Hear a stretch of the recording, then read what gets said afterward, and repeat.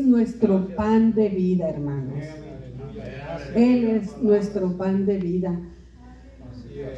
Aleluya. Bendito sea Dios. Gloria a Jesús. Aleluya. Dice, el maná no cesó hasta el día después de la Pascua, celebrada en Gilgal, después de atravesar Canaán y después de que el pueblo comió del fruto de la tierra. Eso lo encuentra en Josué 5:12. Qué hermoso, qué hermosa es su palabra, hermanos. Fíjense, el pueblo cruzó el Jordán y comió del fruto de la tierra. Qué bonito.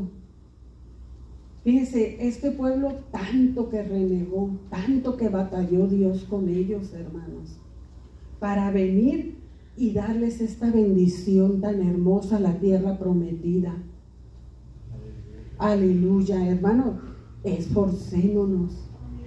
Esforcémonos, ¿sabe para qué?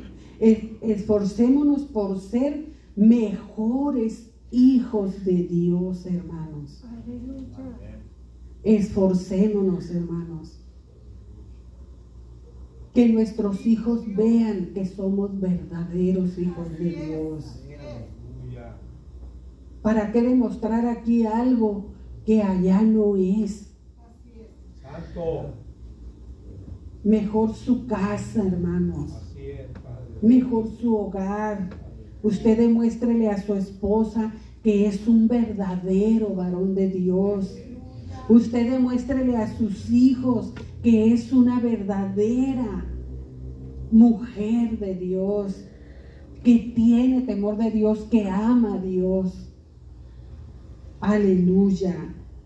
Porque fíjense hermanos, ellos dejaron de comer el maná hasta que llegaron a la tierra prometida, hermanos.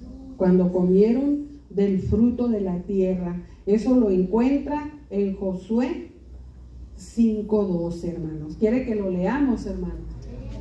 Aleluya.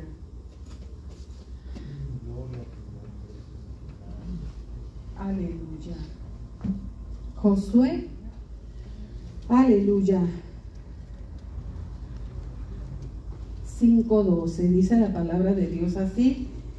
Y el maná cesó el día siguiente, desde que comenzaron a comer el fruto de la tierra, y los hijos de Israel nunca más tuvieron maná, sino que comieron de los frutos de la tierra de Canaán aquel año. Yo creo que el pueblo estaba sumamente alegre porque dijeron, ay, Vamos a comer lo que comíamos allí en Egipto. ¿Verdad? Gloria a Dios, aleluya.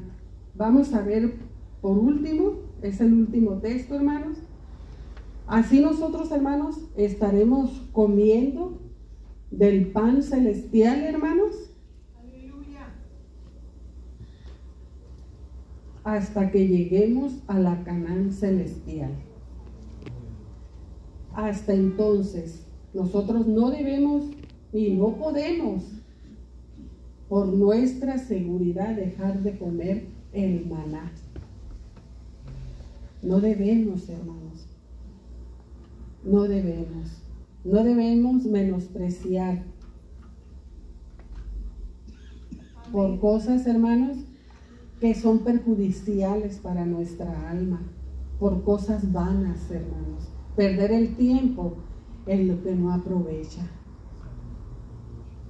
Aleluya, sino comer el maná que Dios tiene para nosotros. Aleluya. Todo israelita tenía que buscar su porción diaria y suficiente. Eran tres a cuatro litros. Así, hermanos, cada uno de nosotros debemos de alimentarnos diariamente buscando de Cristo y alimentándonos de su palabra. Aleluya. Les voy a dar lectura al, al último texto, hermanos, que está en Apocalipsis 2. Gloria a Dios. Apocalipsis 2, 17. dice, el que tiene oído oiga lo que el Espíritu dice a las iglesias. Al que venciere, daré a comer del maná escondido. Y le daré una piedrecita blanca y en la piedrecita escrito un nombre nuevo, el cual ninguno conoce sino aquel que lo recibe. Gloria a Dios, hermanos. Hermosa su palabra, hermanos.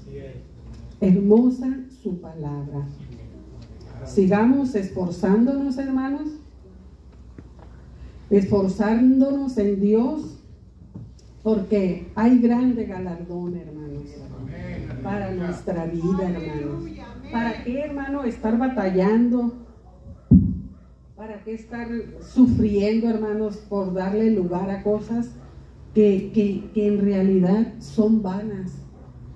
O sea, ¿para qué pecar contra Dios si al rato, hermanos, andamos que no podemos, hermanos, ni con nuestra alma, hermanos? Si Él nos sacó de las tinieblas para que estemos en la luz admirable que es Jesucristo, ahí permanezcamos, hermanos. Acuérdense, hermanos, que Jesucristo viene por una iglesia limpia, hermanos limpia, sin mancha, sin arruga y sin contaminación. Escudriñémonos, hermanos. Escudriñémonos. ¿Qué ha contaminado nuestra vida? ¿Qué nos ha detenido? ¿Qué nos ha detenido en este camino? En este camino maravilloso, hermanos. Porque es lo mejor que a mí me pudo haber pasado. Es lo mejor. Y no me arrepiento de haberle entregado mi juventud a Jesucristo. No me arrepiento porque me ha hecho mucho bien.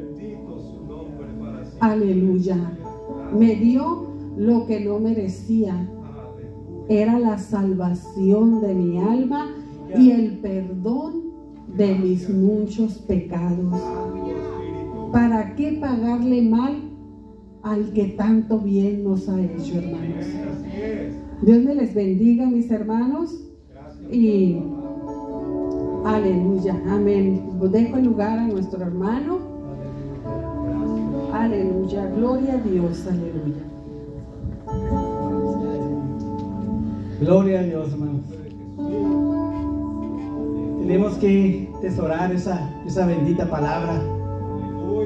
Enamorarnos como juveniles con un corazón, con un corazón sincero, que eso es lo que le agrada a Dios, hermanos. Cuando uno llega a los pies de Cristo y empieza a caminar, nos parecemos a a Eva que agarró la costilla para que, para que fuera la pareja idónea, que tenerla a un lado siempre, a un lado de nosotros. Cuando uno va leyendo más y más y escurriendo más la palabra de Dios, uno se va enamorando cada día más. Por eso no cansemos de leer su palabra. Dice la palabra de Dios. He guardado mi corazón para guardar su palabra, para no pecar contra Él. Debemos de ser fieles a nuestro Señor. Ese mensaje que trajo la hermana Debemos de alimentarnos de, esa, de ese maná diariamente, hermanos. Ese maná, esa palabra que es sinónimo de Dios, hermano. De pegarnos en nuestro corazón a lo más profundo. Porque nos has demostrado miles y miles de veces que siempre ha estado con nosotros, que siempre va a estar con nosotros. Nosotros somos los que le fallamos. Se nos olvida a veces mirar hacia arriba que todo viene de arriba, que nosotros sin Él nada somos, que dependemos de un Dios todopoderoso que siempre nos cuida y siempre está con nosotros. Amémonos, hermanos, regocímonos.